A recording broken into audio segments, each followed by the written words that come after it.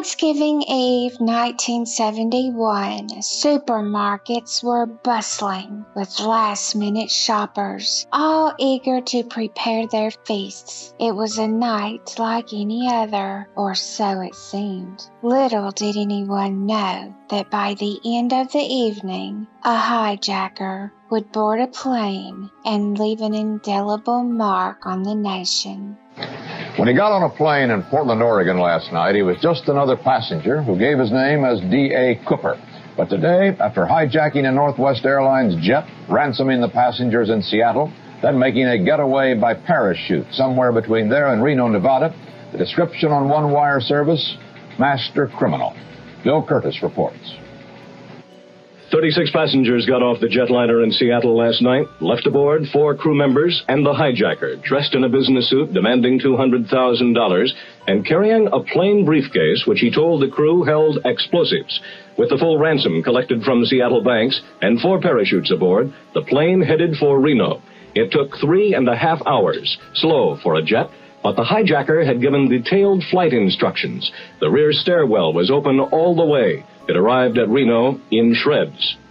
Police believe he left the 727 in the flatlands of Oregon or Washington, but they are still looking in four states, even around the airport.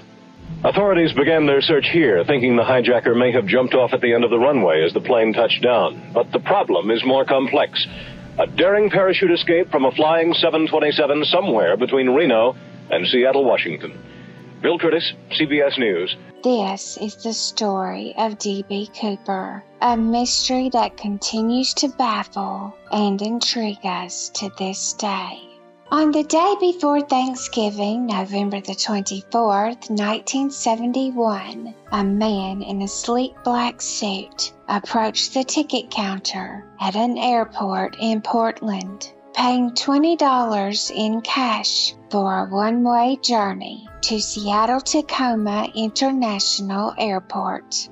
After signing the ticket in striking red ink, he took a solitary seat, anticipating the quick flight. Once aboard, he nestled into the last row of the plane, nursing a bourbon and soda, remaining inconspicuous until he quietly passed a handwritten note to a flight attendant. She believed it was merely an attempt to hit on her until the man with horn brimmed sunglasses pressed her to read what was written. The note ominously stated, Miss, I have a bomb here, and I would like you to sit by me. His ticket clearly displayed the name Dan Cooper in all caps. Yet, in the frenzy of reporting the hijacking, the United Press International mistakenly identified the hijacker as D.B. Cooper. The FBI released a correction the next day, but unfortunately the error had already made its way around the globe, and the DB label remained firmly in place. High above the ground, flight attendant Tina Mucklow settled next to Cooper at his request. He opened a briefcase to reveal wires, a battery, and red sticks inside. Cooper was asking for 200,000, around one and a half million in 2024 terms waiting for them in Seattle. If he received the cash and parachutes, he would permit the 36 passengers and almost all the flight attendants to exit, whilst the pilots would stay with him on the aircraft.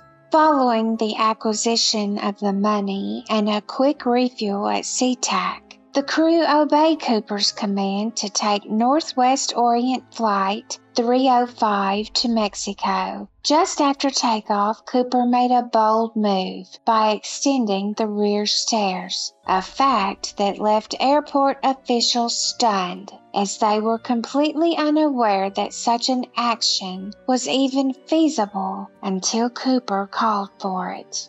Roughly 20 miles north of Portland, the FBI has yet to pinpoint the precise location where Cooper jumped. The Boeing 727, manufactured in Renton, was flying at 196 miles per hour and about 10,000 feet in the air. The wind chill at that elevation was far below zero. More than 50 years on, the FBI has not conclusively identified Cooper making his case the only unresolved airplane hijacking in the world. On February the 10th, 1980, a memorable Sunday, eight year old Brian Ingram made a remarkable discovery as the first and only known individual to find part of Cooper's loot, apart from the FBI's earlier recovery of fragments at the same site. The young boy was enjoying a picnic with his parents Harold and Patricia at Tena Bar, also referred to as Tina Bar, on the Washington side of the Columbia River in Clark County, approximately 10 miles northwest of their home in Vancouver.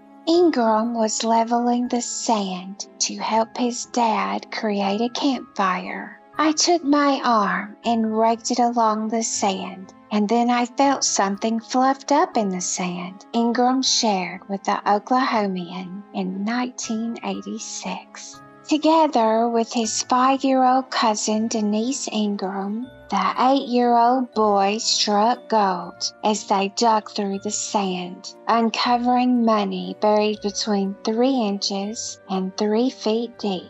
I thought, wow, he told the Seattle Times. I saw it was money and I went over to my parents. They thought it was counterfeit. Brian's father said the find was like a ball of wet pulp. I thought it was play money, Denise Ingram told a reporter in an account later disputed by Brian Ingram's mother. We both found it. It was buried in the sand. I gave it to Brian. Denise's mother, Crystal Ingram, said the kids used sticks to dig the rest of it. There wasn't nothing more, she said. We dug for a while, but we didn't find nothing but sand underneath. It was out Fourth Plain Road. We were just out there watching the boats going up and down, roasting some hot dogs. It was really pretty out there Sunday. There wasn't no bag. We just put it in a plastic bag from our bread. One of us did mention that it possibly could be D.B. Cooper's, but we kept on going with our picnic and didn't think nothing of it, Crystal said. The FBI took possession of three tattered bundles of cash using the serial numbers provided by Seattle First National Bank on the night of the hijacking to identify the bills. These bills were packed into a 19 pound bag with the dimensions of 11 inches by 12 inches by 6.5 inches. The serial numbers were documented on microfilm before Cooper got his hands on the money. When the bills were uncovered, several were so severely damaged that they could not be read. Some were noted to be the dimensions of a business card, and a handful appeared to be entirely black. The family assessed that merely 30 of the bills were still in acceptable condition. Nevertheless, Bill Baker, the assistant special agent in charge at the Portland FBI office, remarked that this was the first substantial clue the FBI had uncovered since the night of the hijacking, leading to bold headlines in Seattle's newspapers. After their discovery, the Ingrams approached the FBI the very next day, and their story quickly made headlines worldwide. Following a news conference on February the 12th, at the FBI's Portland office. The FBI confirmed that the money was part of the ransom packets given to Cooper, two packets of $120 bills and a third containing 90 bills, all arranged in the same sequence as in 1971. An FBI case agent noted that the choice of smaller bills was intended to hinder Cooper's escape by weighing him down. Just two days after Ingram's find, FBI agents made another significant discovery of bill fragments while digging. Paul Hudson, the FBI site coordinator, shared with reporters that these fragments were similar in size to nickels and quarters and were found about five feet away from Ingram's location. Interestingly, some of the fragments were located three feet below the surface of the sand. On February the 13th, the FBI launched an investigation at the site of Cooper's Bill's discovery, bringing the backhoe along with specialists in soil, archaeology, and river currents. The Seattle Times noted that this beach area adjacent to a dairy farm is a popular fishing spot for steelhead. While fishermen and curious bystanders gathered, they were both turned away as the FBI conducted their search. The intense focus of international media soon became overwhelming for the Ingrams, who spent a day assisting the FBI in locating the bills and another day conversing with reporters. My husband lost one and a half days of pay, and my sister in law won't come over to my house anymore. Patricia Ingram told the Seattle Post Intelligencer nearly two weeks after the find. We've gone in the hole as a result of this. Her husband Harold saw a reduction of roughly a hundred dollars in his pay from his job as a heavy equipment painter. They were living on a tight budget, unable to purchase a phone and barely getting by from one paycheck to the next. Originally, Northwest Orient had offered a $25,000 bounty for the return of the $200,000 ransom. However, the Ingrams were later notified that the offer was rescinded as the airline's insurance had reimbursed them for 90% of the total loss. A thousand dollar reward was put forth by the Oregon Journal for the first $20 from the Cooper loot. Yet the Ingrams never got their hands on that money, and the publication shut down in 1982. Brian's mother refuted the idea that the money was found by his five year old cousin, mentioning that the only uplifting moment came from the hero's welcome her son experienced in his second grade classroom. Brian's a hero in their eyes. The first couple of days they demanded his autograph and they carried him around on their shoulders, Patricia said. The FBI is still unable to determine the exact circumstances that led to the bills being located next to the Columbia. It's possible that it washed up here a period of time ago, not nine years ago, but not necessarily recently. Hudson, the FBI site coordinator, told reporters three days after Ingram's find. The theory found support in the words of Sidney Tipper, an 80 year old fisherman who had spent the last 10 years exploring that part of the river. He remarked that if there had been any money in the vicinity, he would have surely discovered it. FBI agents indicated that the money could have been washed downstream, perhaps by a tributary leading to the Columbia. According to a hydrologist with the Army Corps of Engineers, the only tributary that could have potentially carried the money was the Washougal River. The FBI's early hypothesis suggested that Cooper might have met his end in Lake Merwin, situated on the Lewis River to the north of Amboy. Some speculated that he could have entered the reservoir behind the Ariel Dam. Nevertheless, the Lewis River actually joins the Columbia downstream from where the money was ultimately found. Ralph Himmelsbach, the FBI agent in charge of the Cooper case, from the hijacking night until his retirement on the last day of February in 1980, was convinced that the bag of money was situated close to a stream. He believed that as the water rose, it swept the bag downstream before it ultimately fell apart. We think finally tumbling down the river bottom, it broke open and the money was carried on, wearing off little bits and pieces around the edges, grinding it down like it had been ground with sandpaper or a file, leaving the center portion. During Ingram's discovery, John D. Pringle, then the Assistant Special Agent at the Seattle FBI office, was convinced that Cooper was either no longer alive or had discarded the money.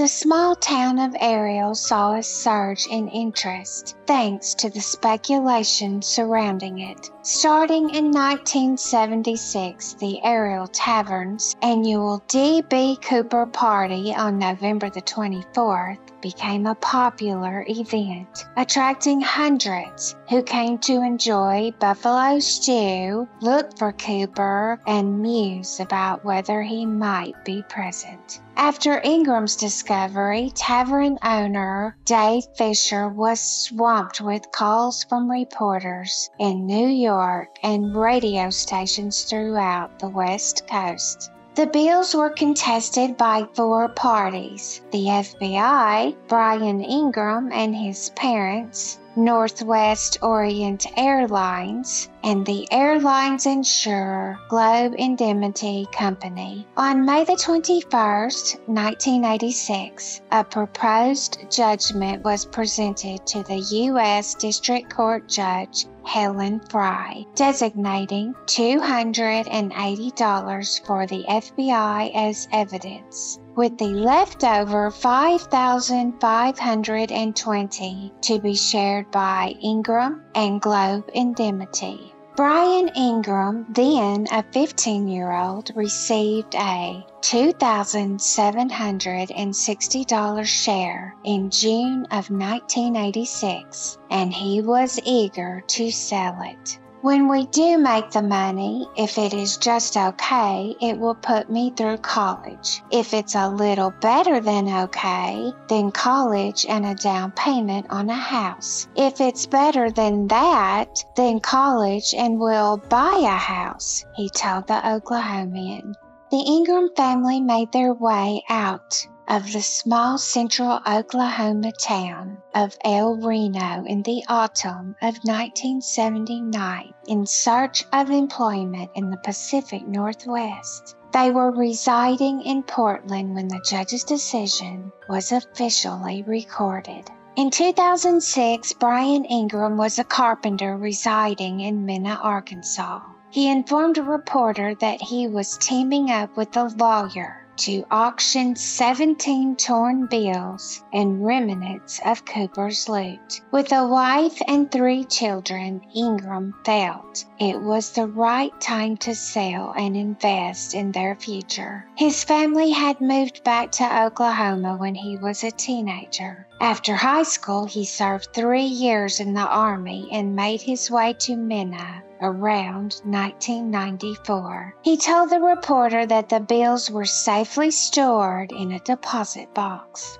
By March 2008, Ingram, now a busy parent of five, decided to enlist PCGS currency to authenticate 15 bills ahead of their auction. In September, the Associated Press announced that these bills sold for a remarkable $37,000 at Heritage Auction Galleries in Dallas, which was two to three times higher than anticipated. Interestingly, some of the bills included the initials of the investigators who had looked into the money right after its 1980 discovery when it was sent to an FBI lab in Washington, D.C. for further scrutiny. By the year 1975, five years ahead of Ingram's significant find,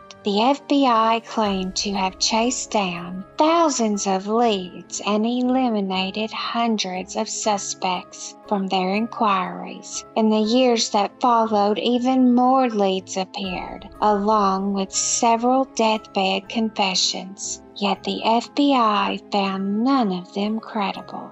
Among the many films released, an HBO documentary stood out.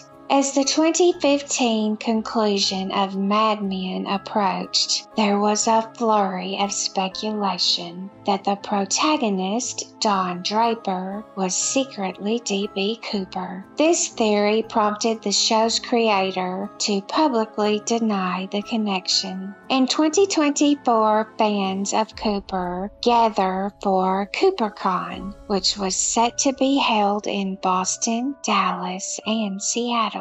Larry Carr, the FBI case agent from 2007 to 2010, took the reins of the investigation and sought input from the public, revealing evidence from a cardboard box that had been tucked away in the Seattle FBI office for years. This effort rekindled interest and resulted in a wave of tips, but Carr was unconvinced that the hijacker had lived through the ordeal.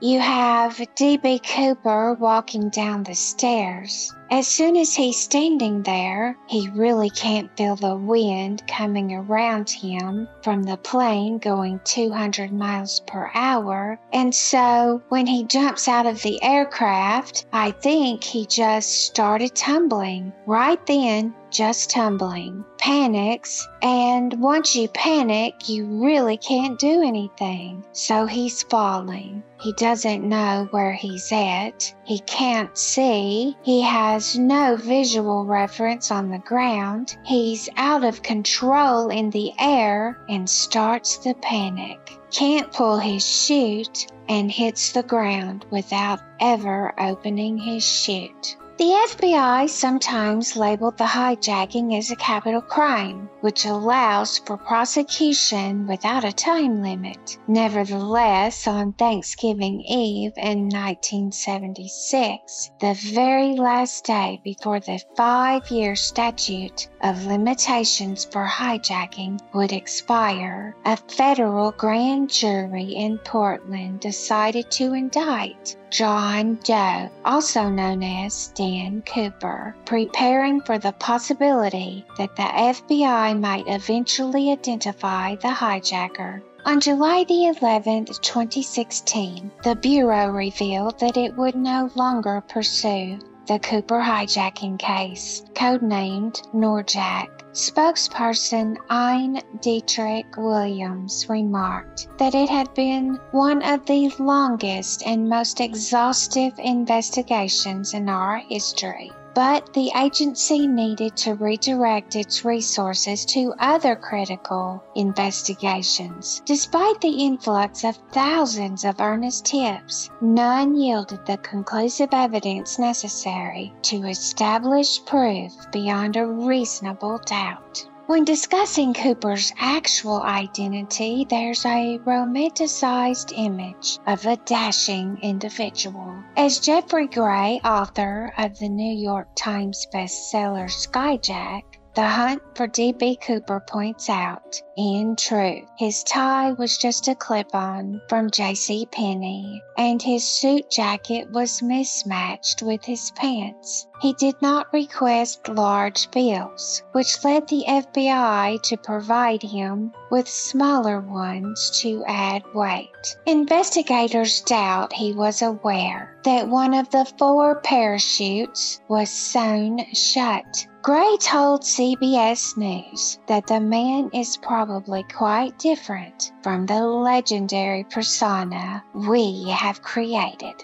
As we gather around our Thanksgiving tables, sharing stories and reflecting on the past, the tale of D.B. Cooper remains one of the most intriguing mysteries in American history. Despite decades of investigation, countless theories, and numerous suspects, the true identity of the man who vanished into the night with $200,000 remains elusive.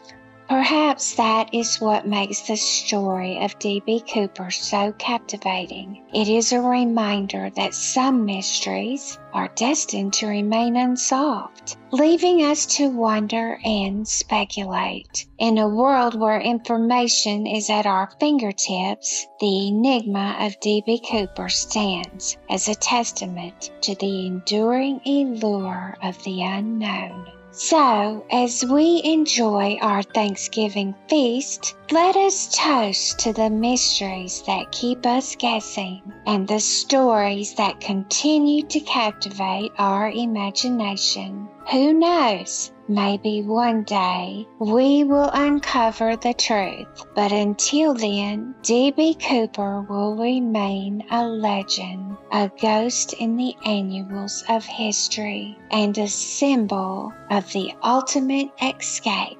I thank you for watching and have a happy Thanksgiving.